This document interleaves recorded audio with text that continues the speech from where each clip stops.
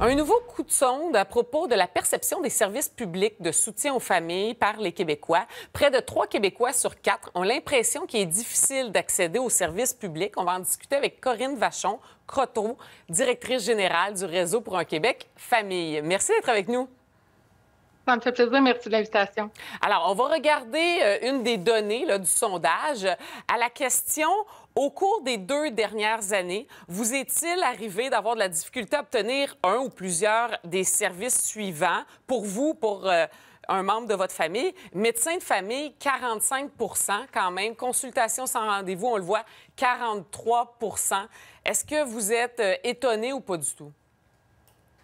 Je pense que ça fait écho avec euh, ce qu'on entend hein, euh, depuis euh, plusieurs années, en fait, dans les difficultés d'accès.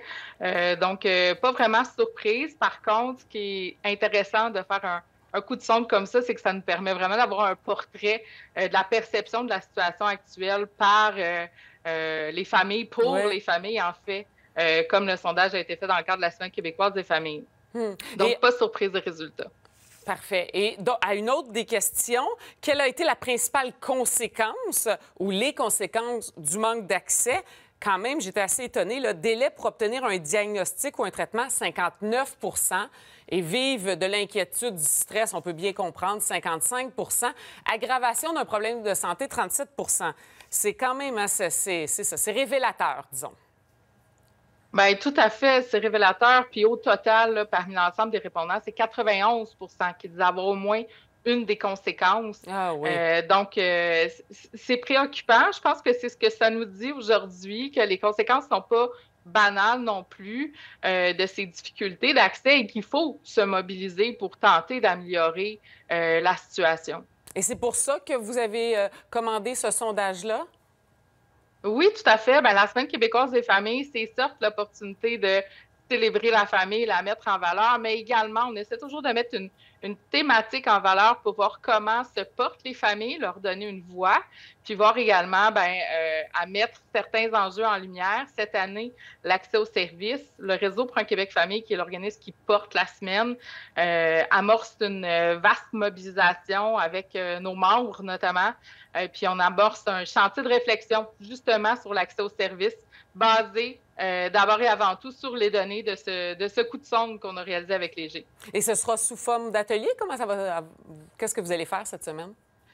Ben, en fait, euh, durant la semaine, euh, on va avoir plutôt des activités qui sont organisées un peu partout à travers le Québec. Si on regarde vraiment du côté de l'accès aux services, de notre côté, on lance un, chantier de travail, donc ça va être beaucoup plus long que durant cette semaine. Ça va s'étaler sur toute, oui, c'est ça.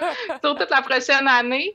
Euh, l'année prochaine, ce sera le 30e anniversaire de la Semaine québécoise des familles, puis on espère bien arriver avec euh, des pistes de solutions plus concrètes là, à pouvoir proposer euh, pour continuer d'améliorer l'accès aux services pour les familles.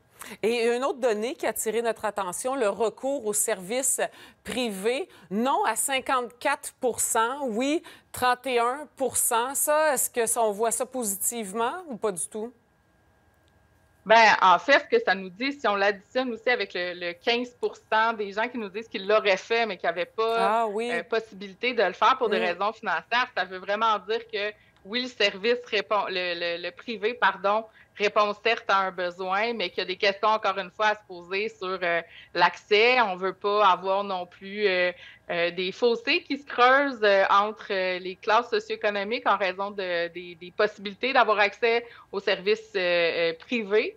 Donc, c'est un autre indicateur qu'il va falloir continuer de suivre là, dans la suite euh, des, activités puis du déploiement. Au Québec, on a voulu un système de santé universel. Mm. Donc, euh, comment on arrive à, le déployer, c'est la bonne question. Et est-ce que vous invitez les téléspectateurs à participer à la Semaine québécoise des familles cette semaine?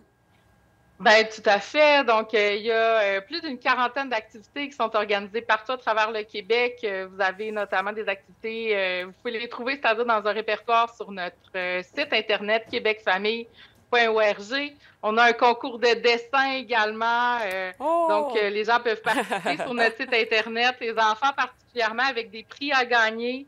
Donc, euh, des bourses applicables dans un camp certifié par l'Association des camps du Québec. Donc, on vous invite à participer. Puis, on a aussi des, des coins-coins, si vous voulez lancer la discussion avec votre famille. Ah, ça fait longtemps que je n'avais pas vu ça.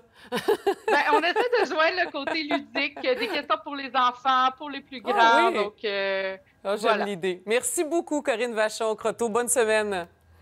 Ça me fait plaisir. Bonne semaine à vous aussi.